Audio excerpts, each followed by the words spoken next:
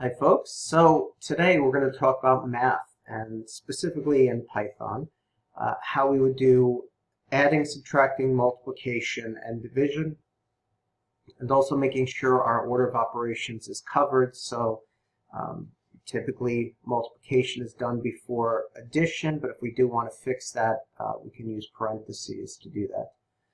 Um, so we're going to take a look at some of these operations. Um, I put together a starting program and you'll see in the starting program I made sure to put good comments. And remember uh, as we talked about in a previous video the comments um, are totally ignored by Python. So Python if we run this program it's going to result in no errors but no output either uh, because the program is, is not designed to do anything. This is all documentation for us. And uh, my goal is that you could actually read this and understand what's going on. So you'll see that these comments will match what's in the PowerPoint presentation. So first of all, um, basic arithmetic operations. If you look at your numeric keypad on the right side of your um, keyboard, over there, um, you'll see that you do have those four operations showing up over there. Plus sign for addition, that's pretty easy. Minus for subtraction.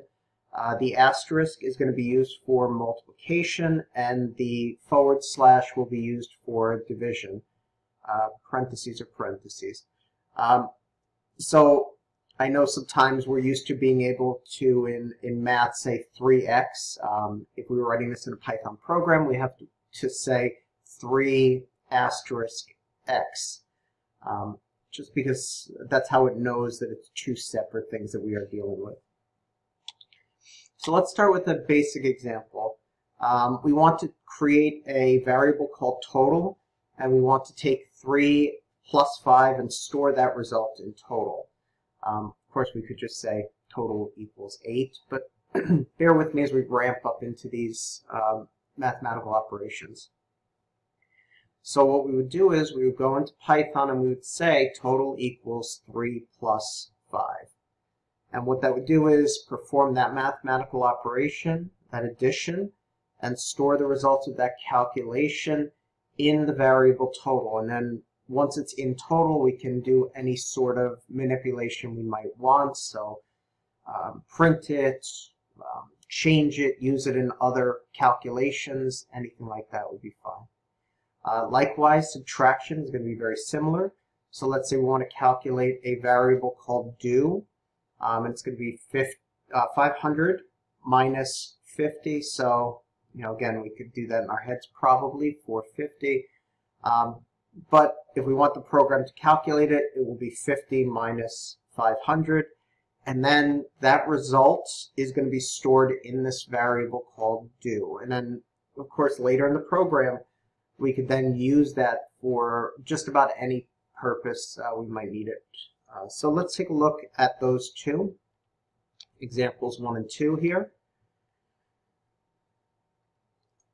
So total equals 3 plus 5 would be how we would calculate that. And for our second example, do equals 500 minus 50.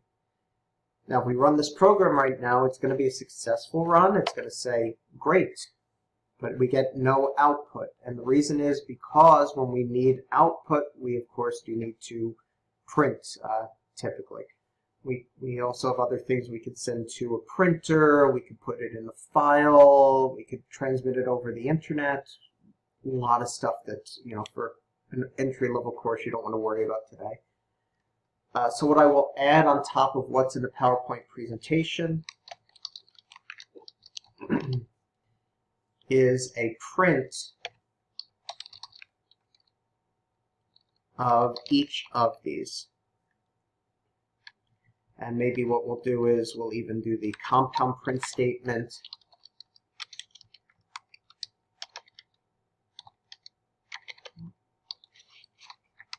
Kind of tough to type and look at the screen, I guess. Um, and we'll do a compound print statement And this way we can actually see what our output is. And we would, again, assume example 1, the result should be 8. 5 plus 3 is 8. Example 2 should be 450. And assuming I haven't made any mistakes, we are indeed getting those results. Now again, dealing with numbers like this, I, we could probably just do the calculations ourselves, but where this is really going to become powerful is when we take other variables and calculate that. Um, and eventually when we get user input, which we'll do in a future video. So let's say we want to take a set of variables, one called number one and one called number two, and put that into a variable called total. A couple little nuances here. First of all, you would say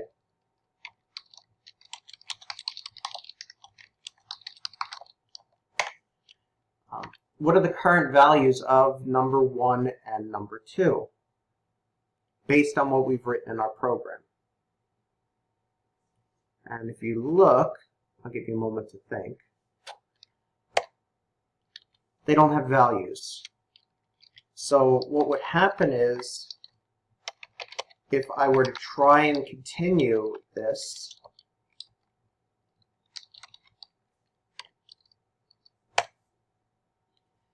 we see number one is not defined when I run that program. And the reason is because we haven't given number one a value, so therefore it doesn't know what to add. So if I were to go in and say number one equals 45 and number two equals 55, expectation here would be that it ends up with 100 as the uh, as the result, and let's see if uh, math still works, and it does. So we see 100.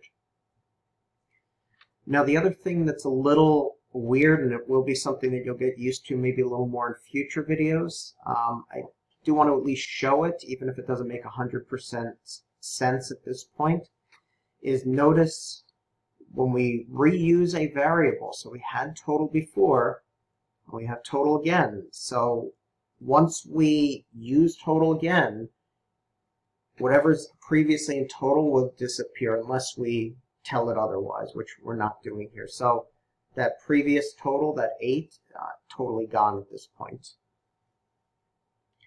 Now, taking a look, uh, multiplication and division, um, kind of combining these things here. Uh, first of all, let's assume we have um, a variable um, called double time that we're going to uh, store the result of our hourly pay multiplied by 2. So we make $15 an hour. If we're getting paid double time, we would then be paid $30 an hour. So this would be the way that we would calculate it uh, using this line right here. If you were, you know, if you caught what I was saying before about values needing to be declared, if I tried to type in this exact line, we would once again get an error because hourly rate is not defined. And the same thing would apply to example 5.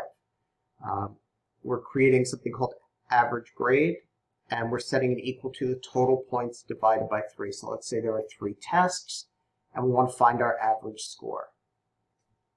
So we would need this value to be initialized or have some value put into it, and same here. Those, those two variables would need um, initial values. So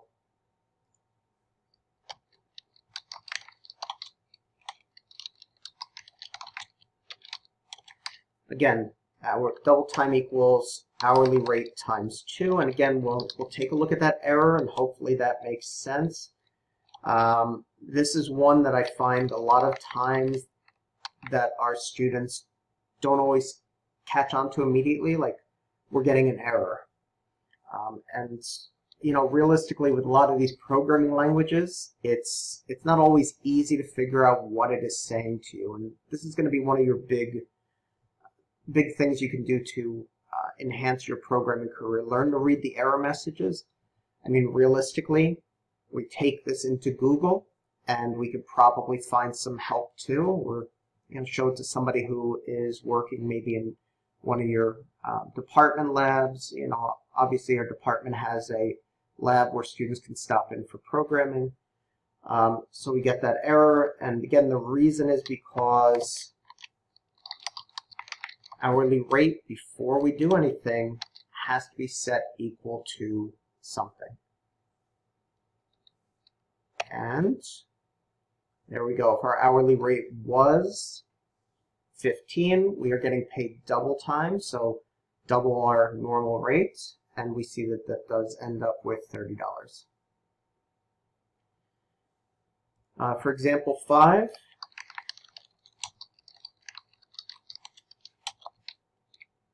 we see average grade equals total points uh, divided by 3.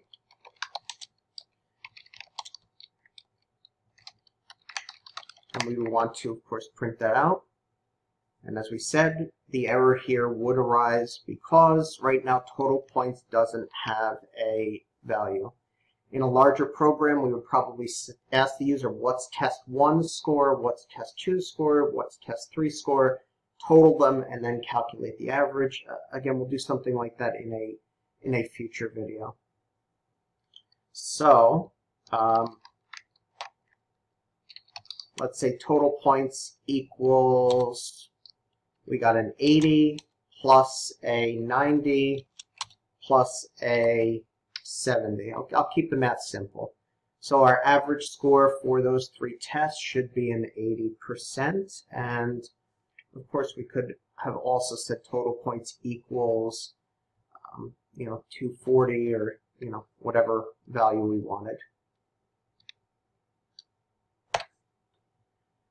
And we can see that this calculates 80. Um, in an earlier video, we talked about how numbers are represented. Notice the point zero at the end. Uh, this becomes a decimal. It's not really a big deal for Python. Um, in other languages, it gets very fussy with, with that, but we're okay here. So basically, multiplication division, the, the main trick here is the asterisk, the star for multiplication, and the forward slash for division. Now, if we were doing um, we're going to calculate a weekly paycheck. So you make 40, uh, you work 40 hours at $10 an hour, and then you work another 10 overtime hours at $15 an hour. Just to prove that order of operations is going to respect um, your normal mathematical order of operations. In this case, what we would say is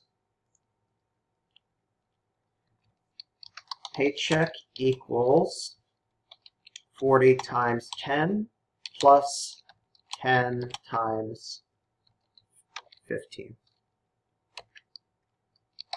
And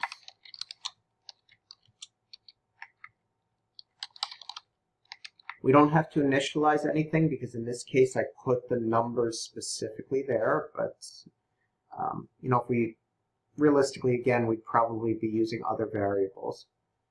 Now, at this point, we should have, normal math would say 40 times 10 is done first, which is 400. 10 times 15 is then done, which is 150, and then you add the results of that multiplication, and we should get $550. And let's see what happens. And we can see example 6 is $550, so it's working out pretty well. But we do have to be careful of that order of operations, just like you would in any math class. Um, this is why, you know, at our college, it, we do have a math prerequisite on this course, because if, uh, if you don't understand order of operations, it's very difficult to, to master stuff like this.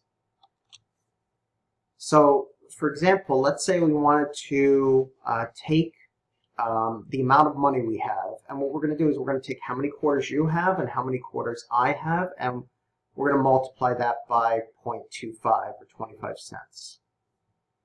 So if we were to go in here and, uh, first of all, let's say you have 10 quarters, and I have, uh, let's keep the math easy, I also have 10 quarters, because we will have to initialize these. And we'll say total money equals your quarters plus my quarters multiplied by 0.25 and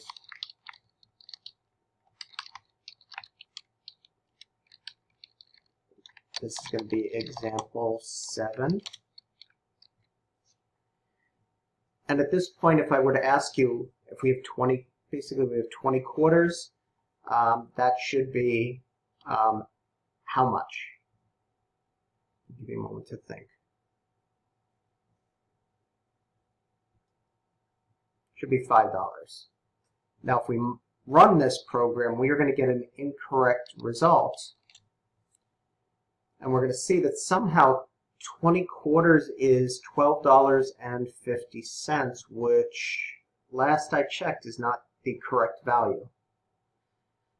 So I don't know if you see the issue here. I kind of hinted at it. Uh, but the problem is um, you're going to need to tell it that the addition gets done first. And the way we would do that, like in you know your regular everyday math, is we have to specify using parentheses what operation gets done first.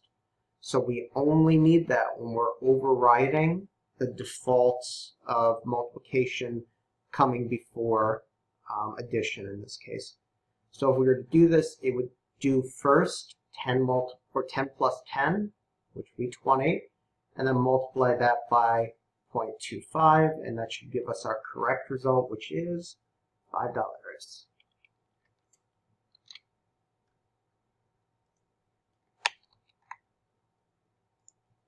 Now I will tell you, this is one of the, uh, we'll give it a run and, yeah, it works, that's good. But this is one of the worst types of errors because it gives you a result, it's just not the correct result.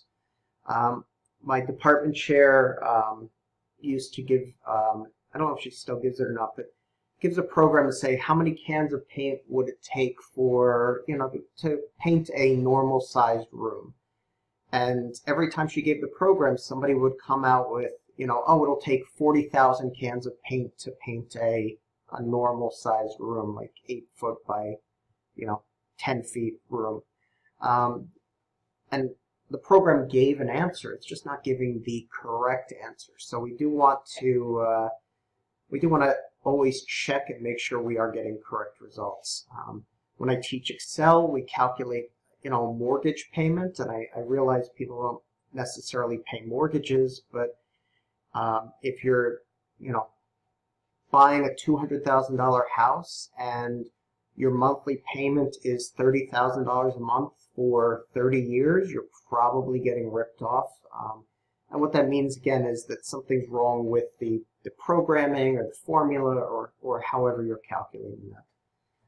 So, uh, these are some examples of math uh, that we could do here. Again, parentheses in the previous example, example 6, were not necessary because in that case the multiplication should be done first. So the only time we need them is in this example 7 where we want to override that default and we want to say do the um, addition first. In a future video, We'll come back to how do we do input. We'll uh, take a couple of these examples and, and get user values, and we'll see what happens when the user decides to put in a letter when you're expecting a number. Uh, you know, as you can imagine, it's not going to work out well. So um, I'll have a link to this code in the description for you to download from uh, the GitHub site, and uh, hopefully this got you moving forward.